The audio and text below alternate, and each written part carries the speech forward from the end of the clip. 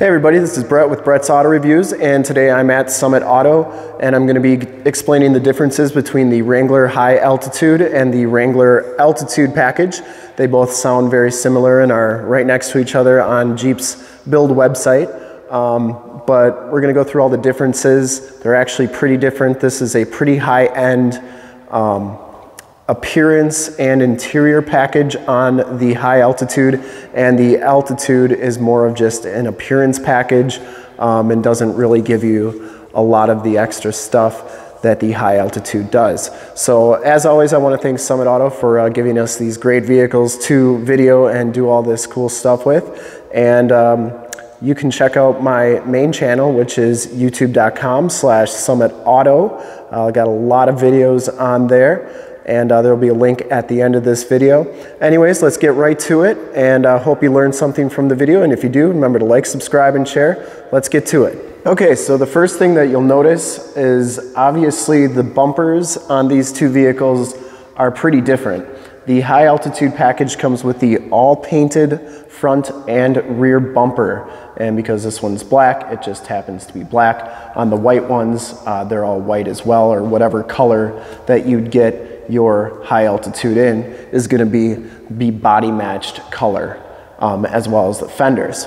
Now the altitude package you can see just has the plastic bumpers, but you do get the gloss black inserts on the uh, fog light bezels and you also get the gloss black inserts on the seven slotted grille and around the headlights. Uh, the other thing to note on the high altitude package, you get these LED headlamps standard uh, they come with the high altitude package as well as the LED running lights and the LED fog lamps.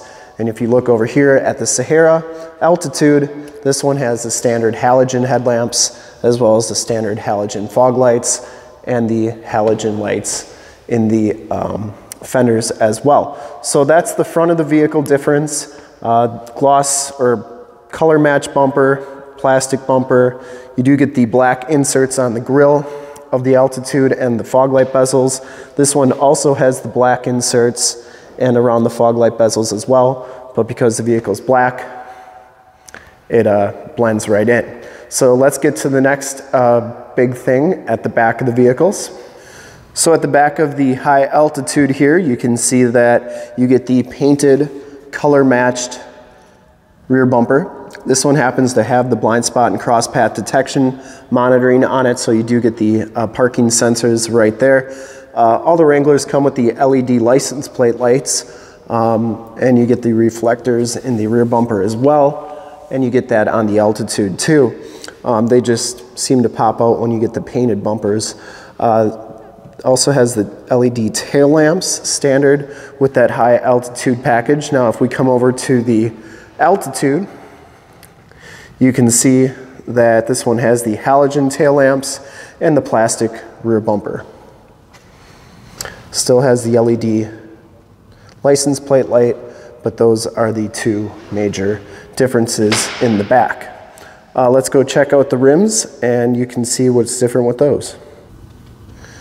So right off the bat, you can tell that the rims on the high altitude are bigger than the rims on the altitude. That's because the high altitude comes standard with the 20 inch gloss black painted rims.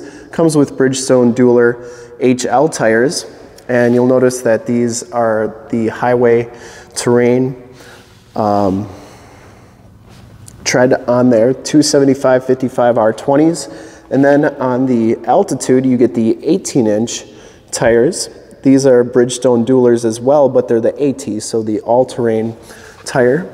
You can see the tread difference from the all-terrain to the HL uh, terrain.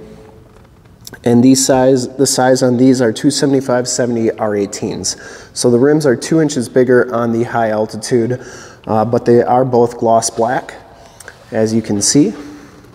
And they both do have the little Jeep in sting gray on the side as well.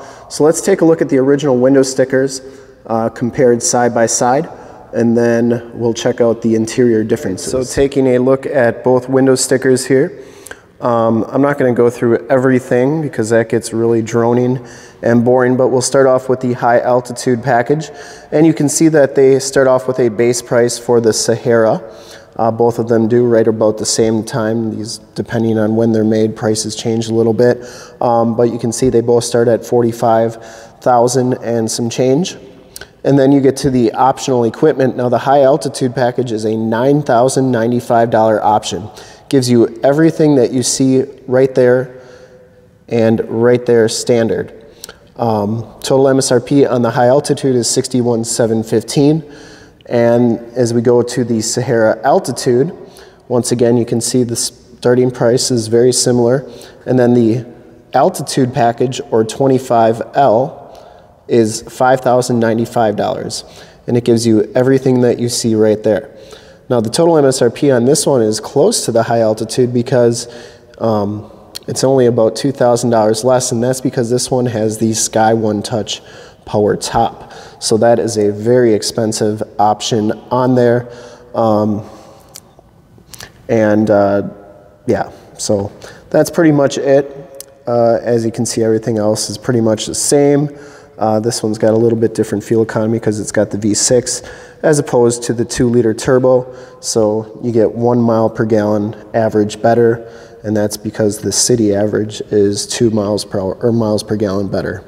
Um, anyways, now let's check out the interiors. I know it's not going to be easy to show both of them at the same time, so I'll show you the high altitude first, and then you'll see the difference with the altitude. So starting off with the high altitude package, you can see that it has the steel gray interior on this one. But the big thing for the high altitude package is this uh, special copper stitching that they do. Kind of gives it a quilted look. Um, and that copper stitching goes throughout the entire vehicle. You get the stitching on the steering wheel.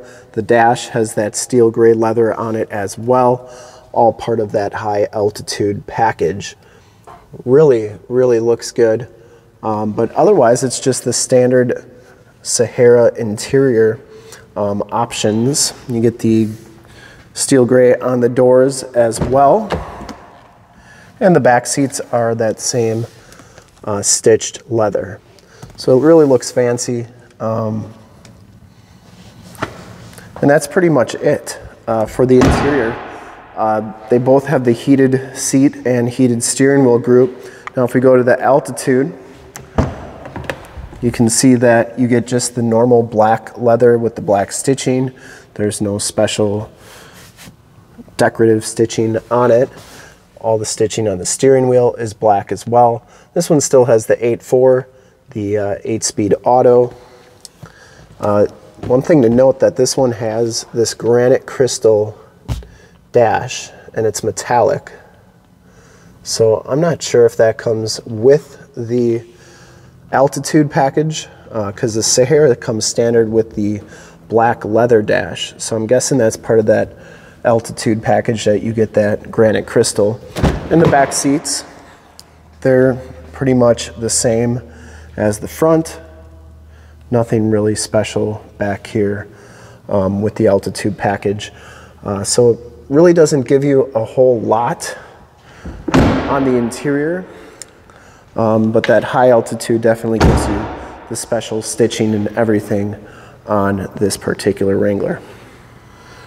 So just a couple more things to note on the high altitude. You also get the color matched mirrors as well as this uh, directional signal in the side of the mirror.